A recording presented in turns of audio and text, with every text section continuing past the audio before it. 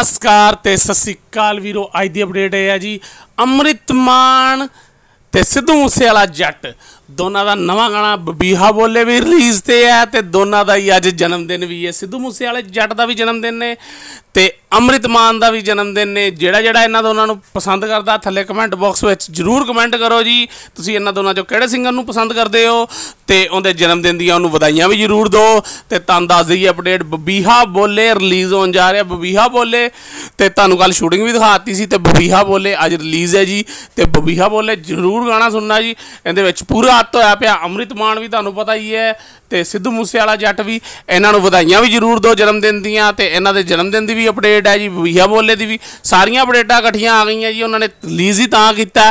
ਅੱਜ ਦੀ ਤਰੀਕ ਉਹਨਾਂ ਨੇ ਤਾਂ ਰੱਖੀ। ਦੋਨਾਂ ਦਾ ਜਨਮ ਦਿਨ ਇੱਕੋ ਹੀ ਦਿਨ ਸੀਗਾ ਤੇ ਦੋਨਾਂ ਨੇ ਇਹ ਗਾਣੇ ਦੇ ਵਿੱਚ ਰੋਲ ਕੀਤਾ ਤੇ ਦੋਨਾਂ ਨੇ ਇਹ ਗਾਣੇ ਨੂੰ ਰਿਲੀਜ਼ ਕਰਨ ਦੀ ਤਰੀਕ ਵੀ ਉਹੀ ਰੱਖਤੀ, ਯਾਨੀ ਕਿ 10 ਜੂਨ 2020 ਸਿੱਧੂ ਮੂਸੇਵਾਲੇ ਜੱਟ ਦਾ ਜਨਮ ਦਿਨ। 10 ਜੂਨ 2020 ਤੇ ਅੰਮ੍ਰਿਤਮਾਨ ਦਾ ਵੀ ਜਨਮ ਦਿਨ 10 ਜੂਨ 2020 ਤੇ ਥੱਲੇ ਕਮੈਂਟ ਬਾਕਸ 'ਚ ਜਰੂਰ ਵਧਾਈਆਂ ਲਿਖੋ ਜੀ।